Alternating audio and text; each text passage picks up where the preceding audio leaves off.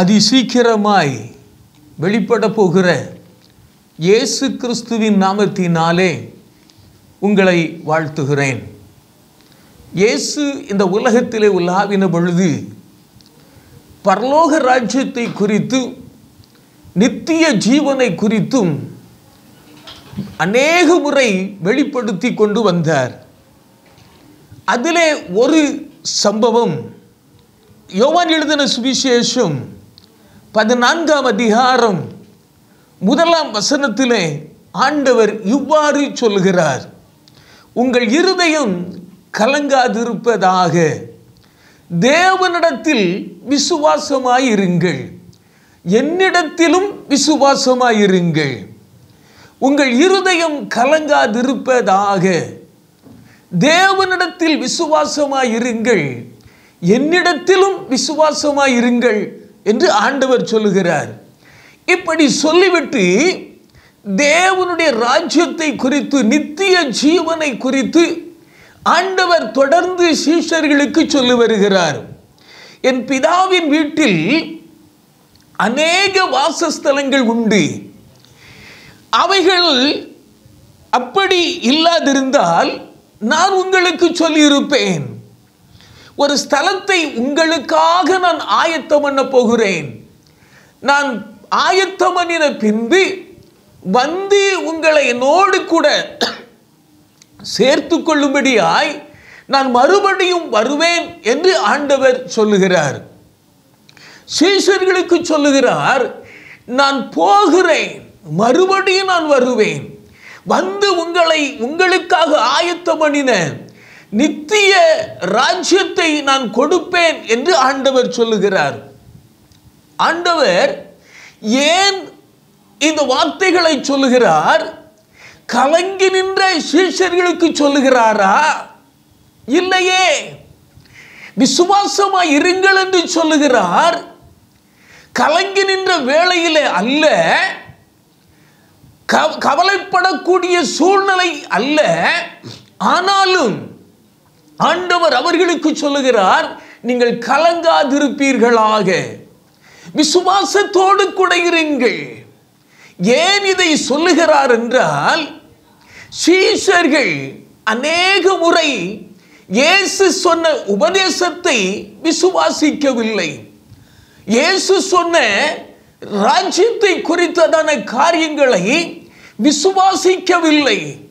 ஆகவே தான் ஆண்டவர் சொல்லுகிறார் யோவான் எழுதின சுவிசேஷம் ஆறாம் அதிகாரம் அறுபதாவது வசனம் முதல் அறுபத்தி ஆறு வசனங்கள் வரையிலும் நீங்கள் வாசித்து பார்ப்பீர்களானால் அங்கே ஆண்டவர் சொல்லுகிறார் அவருடைய சீஷரில் அநேகர் இவைகளை கேட்ட பொழுது இது கடினமான உபதேசம்.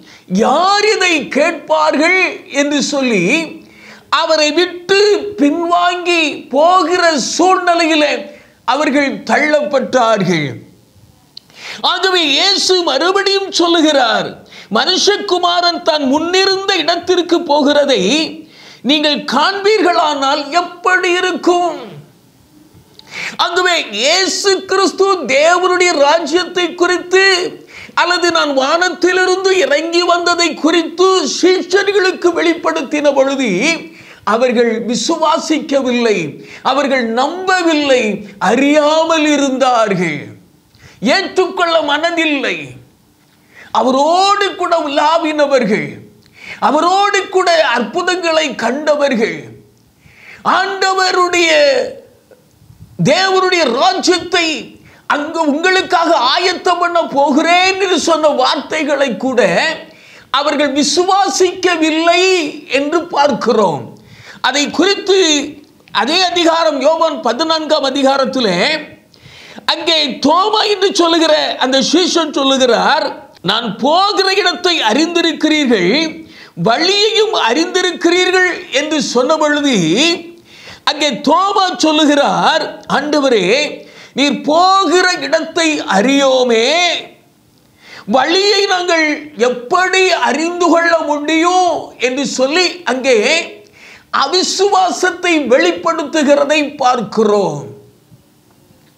நான் போகிறேன். உங்களுக்காக ஒரு ஸ்தலத்தை ஆயத்தம் பண்ண போகிறேன்.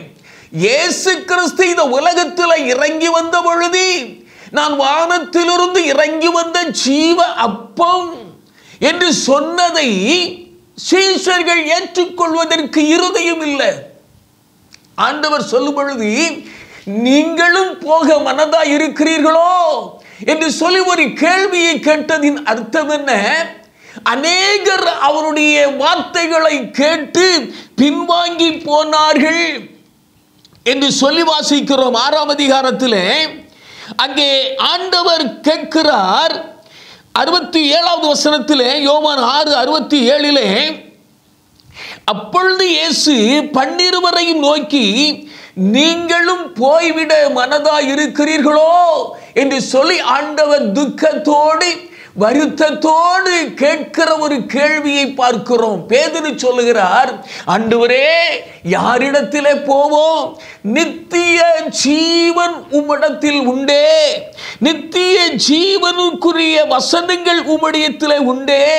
நீர் அல்லவா நித்திய ஜீவனை வைத்திருக்கிறீர்? நீர் அல்லவா நித்திய ஜீவனை ஆயத்தப்படுத்திருக்கிறீர் நாங்கள் எங்கே போவோம் என்று சொன்ன இந்த பேதிரு பின்வாங்கி போகக்கூடிய சூழ்நிலையிலே தள்ளப்படுகிறதை பார்க்கிறோம். யோவான் எழுதின சுவிசேஷம் பதிமூன்றாம் அதிகாரத்திலே அங்கே முப்பத்தி ஏழு முப்பத்தி எட்டு வசனங்களை வாசித்து பார்ப்போமானால் பேதுரு அவரை நோக்கி ஆண்டவரே நான் இப்பொழுது உமக்கு பின்னே ஏன் வரக்கூடாது?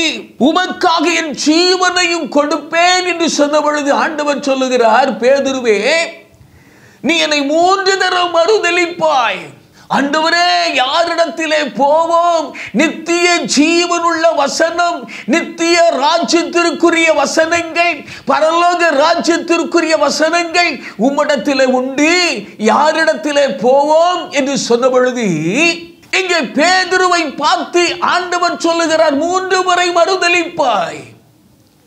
மூன்று முறை என்னை மறுதளிப்பாய். நான் அறியவில்லை என்று சொல்லுவாய். பேதுரு சொல்லுகிறான் இல்ல ஆண்டவரே நான் மறித்தாலும் மறிப்பேனே ஒழிய உம்மை மறுதளிக்க மாட்டேன் என்று சொல்லுகிறார். எனக்கு அருமையான கத்தருடைய பிள்ளையே அந்த சூழ்நிலைகளை தான் சொல்லுகிறார்.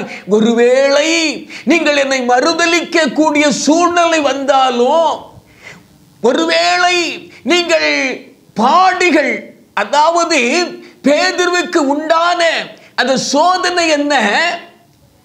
மறுதளிக்கக்கூடிய சோதனை என்ன? ஒருவேளை பாடுகளுக்கு உரி- வழியே கடந்து சென்றாலும் கூட நீங்கள் விசுவாசத்தோடு கூட இருக்க வேண்டும் என்று சொல்லி ஆண்டவர் விசுவாசத்தை தூண்டுகிறவராய் இருக்கிறார். ஆகவே தான் இயேசு சொல்லுகிறார் உங்கள் இருதயம் கலங்க வேண்டாம். உங்கள் இருதயம் சோர்ந்து போய் விட வேண்டாம். நீங்கள் அநேக உபத்திரவங்களின் வழியாக கடந்து வருவதை உங்களுக்காக நியமிக்கப்பட்டிருக்கிறது. அதை குறித்து கவலைப்பட வேண்டாம் கலங்க வேண்டாம். உங்களுக்காக ஒரு ஸ்தலத்தை நான் ஆயத்தப்பட போகிறேன். என்னிடத்தில் விசுவாசமாயிருங்கள். எந்த சூழ்நிலை வந்தாலும் எந்த சூழ்நிலை உங்களை சூழ்நிலை உங்களை தள்ளினாலும் நீங்கள் கலங்க வேண்டாம். இதே யோவான் எழுதின சுவிசேஷம் பதினான்காம் அதிகாரத்தில் பிலிப்பு அவரை நோக்கி சொல்லுகிற வசனத்தை வாசித்து பாருங்கள். எட்டாம் வசனம் முதல் நீங்கள் வாசித்து பார்ப்பீர்களானால் பிதாவை எங்களுக்கு காண்பியும்.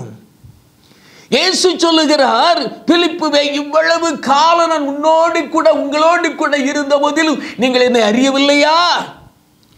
ஆக அந்த பி- பிலிப்பினிடத்தில் ஆண்டவர் சொல்லுகிறார் நான் பிதாவிலும் பிதா என்னிலும் இருக்கிறதை நம்புங்கள்.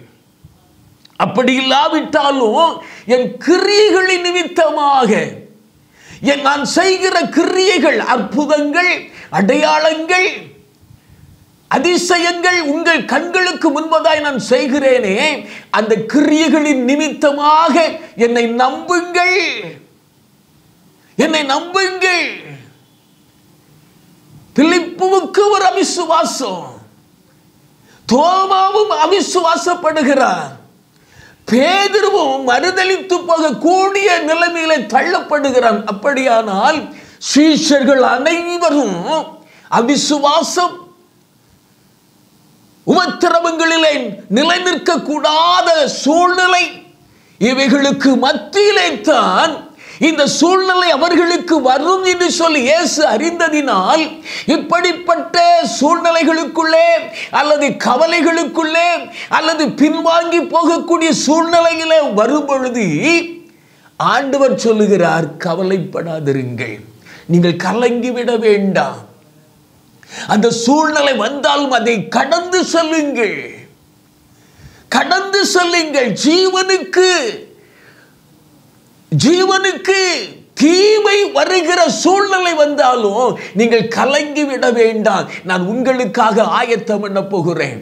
ஒருவேளை இந்த சூழ்நிலை மரணத்திற்கு ஏதுவாக வந்தாலும் மரணத்திற்கு ஏதுவாக சம்பவித்தாலும் நீங்கள் கலங்கி விட வேண்டாம். விசுவாசத்தோடு கூட நான் சொன்ன வசனத்தை பிடித்துக் கொள்ளுங்கள். உங்களுக்காக ஒரு ஸ்தலத்தை நான் ஆயத்தம் பண்ண போகிறேன். நான் சீக்கிரத்தில் வருவேன்.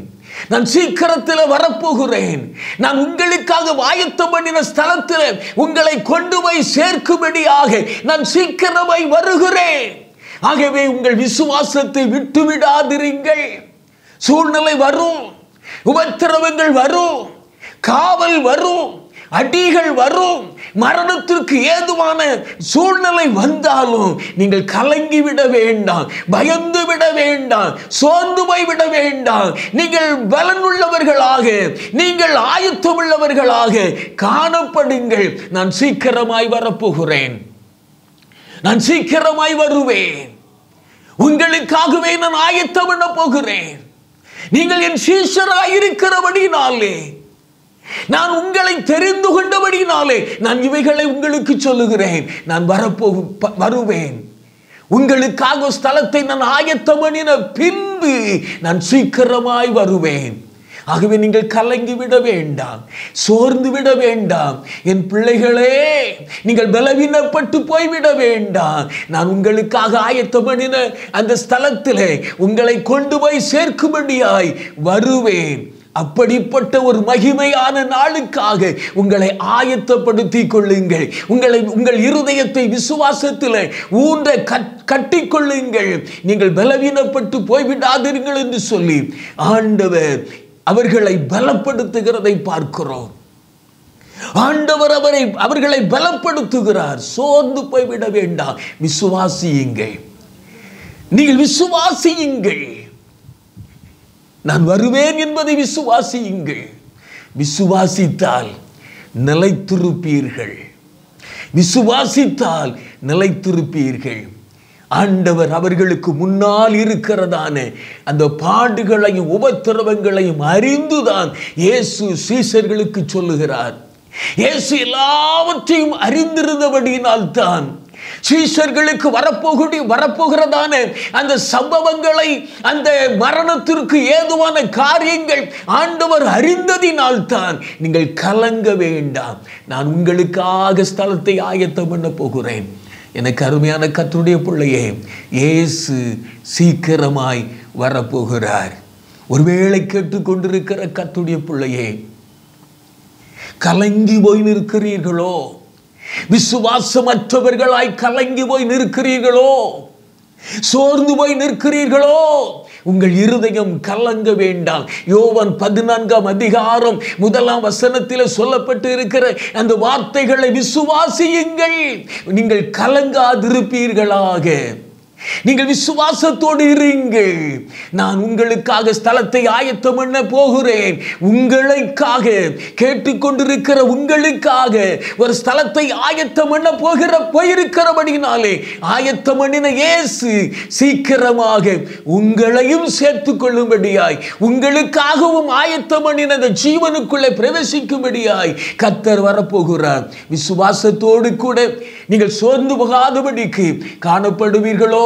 இந்த நாளில ஆண்டவர் உங்களுக்கு சொல்லுகிற ஒரு வார்த்தை கலங்காதிருங்கள் விசுவாசத்தோடு இருங்கள்.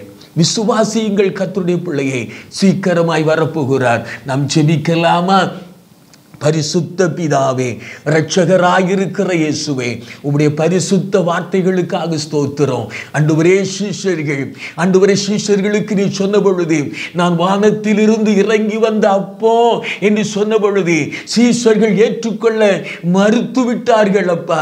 சீஷர்கள் ஏற்றுக்கொள்ளவில்லை. அநேகர் பின்வாங்கி போனார்கள். அப்படிப்பட்ட அண்டு அண்டுவரை சீஷர்களுக்கு நீர் சொல்லுகிற ஒரு வார்த்தை கலங்காதிருங்கள். நான் உங்களுக்காக ஆயத்தம் பண்ண போகிறேன்? நான் ஆயத்தம் பண்ணின பின்பு வருவேன் சேர்த்துக் கொள்வேன் என்று சொன்னீரே.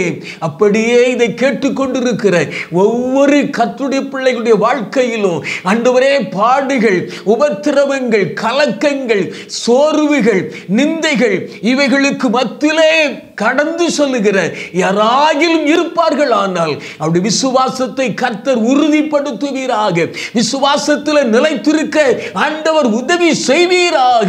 அவர்களுக்காகவும் ஆயத்தம் பண்ணின ஸ்தலத்திலே போய் சேரும் வரையிலும் விசுவாசத்தை தொடங்கினவர் அதை முடிக்கும் வரையிலும் கர்த்தருடைய கரம் இதை கேட்டுக்கொண்டிருக்கிற ஒவ்வொரு கர்த்தருடைய பிள்ளைகளுக்குள்ளும் இருப்பதாக என்று சொல்லி வாழ்த்தி செபிக்கிறேன் இயேசுவின் நாமத்தினாலே. நிறப்படியே ஆயத்தம் பண்ணின ஸ்தலத்தில் கொண்டு போய் சேர்க்க போகிற கிருமிகளுக்காய் ஸ்தோத்திரம் ஸ்தோத்திரம் ஸ்தோத்திரம். இயேசுவின் நாமத்தினால் செபிக்கிறோம் பிதாவே. ஆமேன்.